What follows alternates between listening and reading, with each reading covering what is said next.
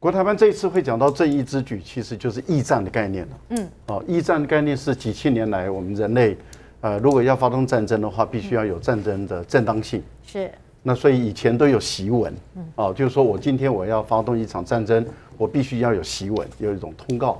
那这个主要的就是要要对我现在的行为的正当性，要必须要跟自己的民众跟对方也要说清楚、讲明白。是。呃，我觉得这一次啊，这个马晓光用正义之举，我觉得就有这个驿站的概念在里面。也就是说，呃，未来如果两岸之间发生军事冲突，未来我不讲现在，哦，再强调不是现在，是因为十月九号的时候，呃，习近平已经把两岸关系的处理的原则有定了调，嗯，也就是和平的方法来解决两岸的问题，还是目前的这个阶段的主要的大方针，对，哦，所以和平统一，统一是目标，用和平的方法来达到目达到统一，这是目前来讲大陆的。基本的方针还是没变，是。然后原则是一个中国原则以及九二共识啊，这两个基本的原则，这都没变。那当然，这是在十月九号讲的，十月十号蔡英文就回应了嘛，就提出两国论了。呃，提出两国论，大陆这边已经赤裸裸的哦，就告诉你说，你这个就是两国论，不管你怎么包装，哦，你就是两国论。呃，原因很简单，就是我们以前主张我们是中华民国，可是我们也是一中。嗯，我们强调的是我们的治权，目前不及于大陆。嗯，我们只有在台澎金马，这是我们的统治权利，统治的能够到的地方只有台澎金马。但是大陆是我们的国土，所以我们中华民国的宪法就写得很明白，我们的国土就是大陆跟台湾，整个中国传统的这个几千年的这些土地都是我们的。是，所以这是国家的主权，国家的领土。在宪法上写的明明白白，因此中华民国的治权台澎金马，但是大陆也是我们中华民国的领土。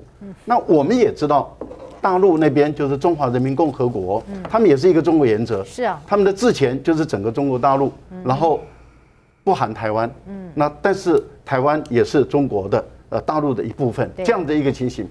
但是蔡英文的讲话里面就是摆明了，就是你是你，我是我。对呀。然后，所以他已经违背宪法了。嗯。也就是说，蔡英文在中华民国的国庆生日的那一天，他发生了精神分裂的问题。第一个就是他把我们中华民国的历史一百一十年去掉了三十几年，只剩下七十二年。所以他本身有精神分裂的这种嫌疑。哦，因为。我们无法理解我们消失的那几十年是怎么一回事哦，我觉得这个部分里面，而且他同一天他又讲一百一十年的生日，然后之后变成七十二年，这个不是精神分裂是什么呢？所以我才会直接说，这一定是要不就是精神分裂，要不就是他变更我们的历史，这很严重哎。可是他同时矛盾。第二个，他本身公然的就违宪了，因为中华民国宪法。的规定，我们的土地含中国大陆本身，而且我们是一个中国原则，绝对没有两个中国。嗯哼，我们没有两个中国，所以不但是大陆反对两个中国，我们也反对两个中国。嗯，因为我们的宪法主张的是要统一。嗯，所以谁反对统一，谁就是不遵守宪法。嗯，我觉得谁反对两一个中国，谁就是不遵守宪法。是，谁不承认这个中华民国？就是谁就是不承认这个宪法，嗯，所以我个人是觉得说，以目前来讲，我会建议国民党，其实以后那个立法委员咨询的时候啊，啊，当然指责在这边了哈，我觉得，我觉得以后国民党上台的时候，就先提出第一个问题，就是问民进党的所有的官员，你爱不爱中华民国？嗯，就爱这问这个，先问了。问了以后才开始咨询，就第一个问题就，请问你爱不爱中华民国？他可能口是心非。对啊，我正想讲，没有关系，是他讲的话吗？每天就让他口是心非哦，就是你每天就告诉他爱不爱中华民国？哦。爱不爱我们的国旗？是他们爱不爱我们的国歌？你就每天先问，就是你三餐，你照三餐来问。嗯。然后他讲到最后，他真的爱喽。哦啊！哎呦，讲，因为他讲久了就爱了。他他讲了一百年了以后，他讲的，哎，我们不可能让他执政一百年了哈，就是让他一直讲，讲到最后他就爱了。但是我觉得，我觉得以国台办的这次的讲话，你看，呃，到目前为止我们没有看到他们把调性拉高。嗯。哦，所以我觉得他们还是在。这个习近平的这个大原则下是哦，但是他们定位就是蔡英文的讲话就是两国论。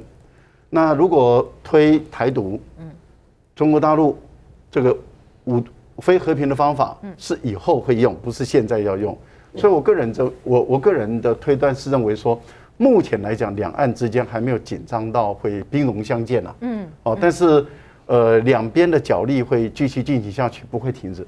嗯，是，所以现在今天当然我们看到有一个最新的讯息哦，当然就是要请教一下这个张静老师了，因为呢，看到哈，常常我们看到美国之音哦，Voice of America 他们的报道的立场多半都是倾向美国政府的嘛，但是呢，他们的所属的一个事实查核网站却有这样子一个报道，内容是说啊，从技术事实讲，中国的军机没有侵入台湾领空。啊，他用的是 China 没有 invade 台湾的领空。好，那么呢，他说关于台湾的防空识别区有一个鲜为人知的事实是，地理覆盖面与中国的领海和领路均有重叠。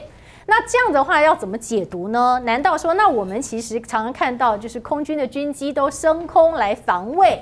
那是心酸的吗？哦，非心酸的吗？那到底要是怎么来看？这是瞎忙的吗？那怎么来认定这样的一个立场呢？首先，我必须要提示，防空识别区里头啊，采取的反应的话，有很多的不同的方式。